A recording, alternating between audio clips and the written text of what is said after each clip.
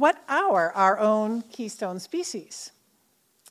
And I'm here to tell you if you go on the Garden Tours website under the Doug Tallamy section, you'll see the plant lists where the red arrow is, and under there is that blue Excel.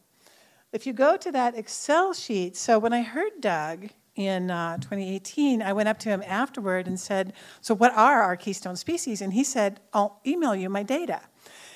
So, this is his data. It's a literature search that someone did of the last hundred years of sightings in the scientific liter- literature of butterflies and moths laying eggs on certain species of plants. So, the green on the right is the number of butterflies and moths that can lay eggs on that uh, group of plants. So, you can see the uh, oak is uh, near at the top, California lilac has 120 species.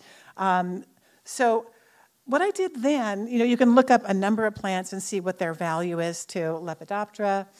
Uh, you can also go on the Garden Tours website, and our very own Jennifer Durking made these list of keystone species. Um, so what I did is I took Doug's data, and and he just, he defines keystone species kind of generally. I said it's going to be 30 species of butterflies or moths can lay eggs in it or more.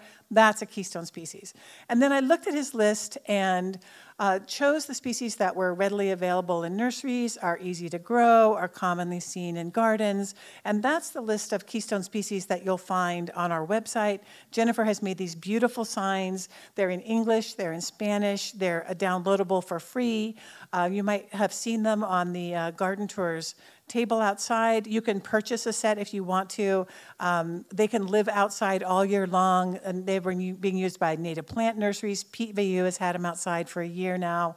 Uh, landscape designers have bought them. Uh, some college teachers have bought them. So, all right, that's our keystone species.